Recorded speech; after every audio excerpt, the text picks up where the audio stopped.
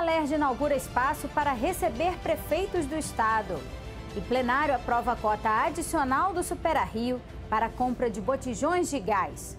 O Jornal da Alerj está começando agora.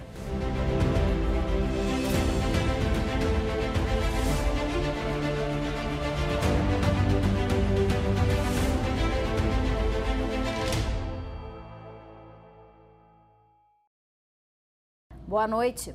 Prefeitos de todo o estado do Rio terão um espaço dedicado a eles na nova sede da Alerj. A ideia é que, quando estiverem na capital, eles possam se reunir com parlamentares e assessores como se estivessem em seu próprio gabinete. Nossa equipe foi recebida pelo idealizador do projeto Rui Aguiar, que nos apresentou o novo espaço.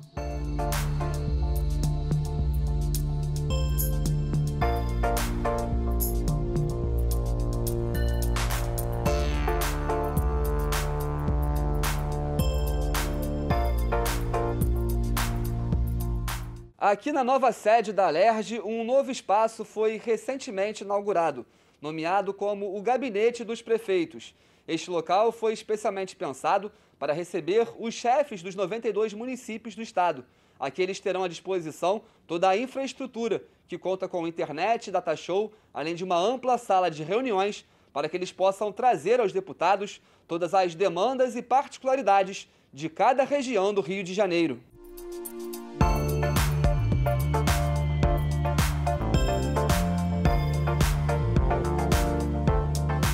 É uma determinação do presidente André Siciliano é essa integração dos executivos municipais com a Assembleia Legislativa. Algo que, pela primeira vez na história nacional, uma Assembleia Legislativa tem um espaço dedicado somente aos prefeitos. Aqui os prefeitos vão poder se reunir, reunir com os seus assessores, com os seus secretários, a fim de pensarem as demandas que podem trazer ao Estado do Rio de Janeiro a fim de pensar as demandas que podem levar ao Congresso Nacional ou até mesmo ao Executivo Nacional, a fim de buscarem soluções para as suas cidades. Um espaço amplo que nós colocamos à disposição secretárias, um setor de informática com impressora, com internet, computador, um atendimento de excelência. O prefeito vai se sentir como se estivesse no seu próprio gabinete na sua cidade. Acompanhe agora a agenda das comissões para esta quinta-feira. Às 10 horas da manhã, a Comissão dos Servidores Públicos faz audiência pública virtual para discutir a melhoria no direito de acesso à justiça pelos servidores militares. A reunião será transmitida ao vivo pela TV Alerge. Nós é, aprovamos um grupo de trabalho, um plano de trabalho para a Comissão de Servidores. Amanhã é a reunião justamente para você, servidor público militar do Estado do Rio de Janeiro. Nós vamos instituir esse grupo de trabalho com diversos representantes de instituições distintas, institui é, representantes das forças também, para que a gente possa discutir a otimização da prestação jurisdicional para o servidor público militar. E, é claro, vamos discutir também é, a questão das expulsões, né? É um assunto recorrente, a gente recebe as demandas via é, os canais aqui da Assembleia Legislativa e a gente vai botar esse assunto em pauta também para uma melhor prestação jurisdicional para você, servidor público militar no Estado do Rio de Janeiro. De 13 às 17 horas, a Escola do Legislativo realiza seminário sobre direito do consumidor e tutela de dados pessoais no segundo andar do Alerjão. Pacientes que passarem por cirurgias ou procedimentos relacionados ao sistema reprodutor podem ter direito a acompanhante durante todo o período de internação no pós-operatório nas redes pública e privada de saúde. O projeto será debatido pelos deputados no plenário da Alerj. Veja outras propostas que estão na pauta desta quinta-feira.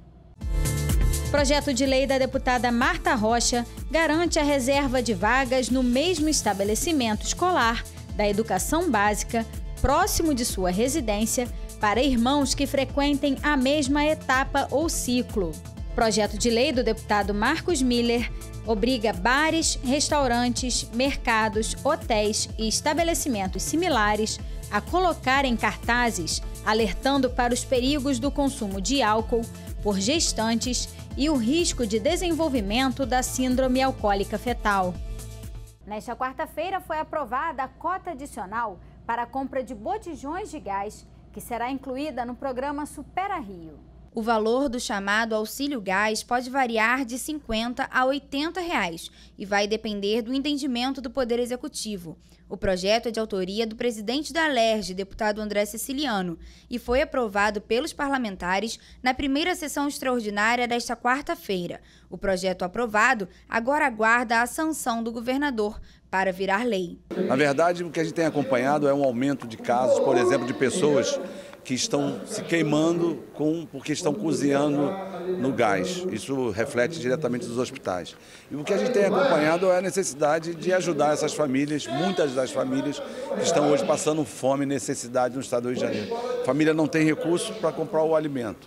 Consegue o recurso, mas tem dificuldade depois é, de produzir a comida, de transformar esses alimentos in natura em comida, um prato. Eu acho que a Assembleia avança, dá um, um exemplo também a outros estados que nesse momento de pandemia que a gente possa dar um auxílio gás para essas famílias que estão nas condicionantes é, do cadastro único. Também foi discutido o projeto do deputado Rosenberg Reis, que concede isenção de ICMS sobre a venda de feijão e arroz. O objetivo é baratear o custo desses alimentos para as famílias de baixa renda do Estado. A proposta recebeu sete emendas e retornou às comissões. O feijão com arroz está no prato de todo brasileiro, está no prato tanto da classe média, na, na, na base mais humilde, o trabalhador, todo mundo tem o feijão com arroz. Então, essa pandemia, essa questão da falta de emprego, população quer emprego. Então, nós temos que desonerar, ajudar, dar direito ao trabalhador poder ter mais poder de compra. Então, esse projeto vai fazer justiça e justiça social. Então, estou muito confiante, estou convicto que o nosso projeto vai passar e o governador vai sancionar o mais rápido possível. Jornal da Lerge fica por aqui. Você pode acompanhar a programação também em nosso site e pelas redes sociais. TV Alerj, o canal do povo. Uma boa noite para você e até amanhã.